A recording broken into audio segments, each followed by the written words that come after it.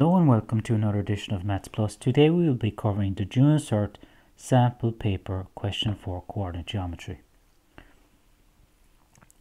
Firstly, we need to find the coordinates of A and B. B is on the x-axis, so therefore you go out 8 and up 0.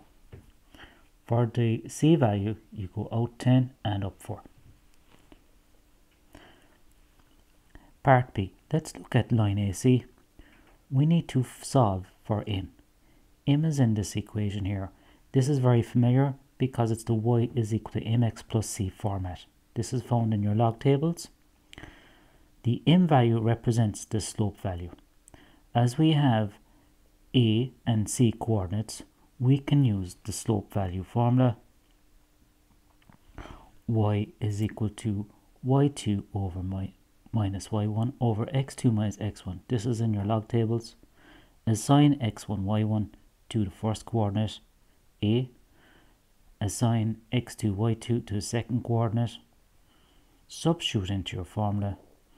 Use your calculator and we will get a result of 1 over 3. Therefore, m is equal to 1 over 3. Let's go to the next side we have another combination in the y is equal to mx plus c format over here.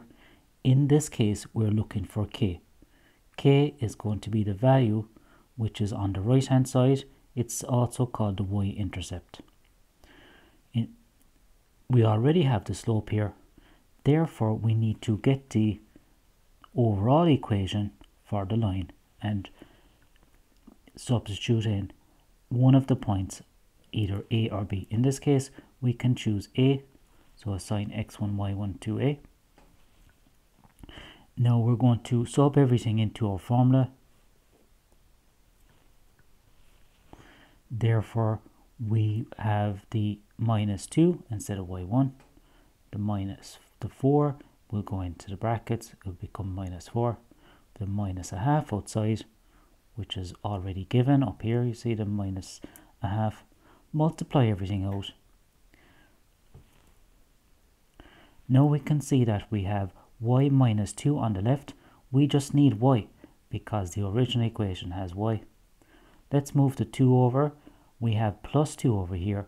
Bring the minus 2 over, change the sign, and we will get a result of plus 2 over there. And we can see that finally k will be equal to 4. Thank you for joining Maths Plus.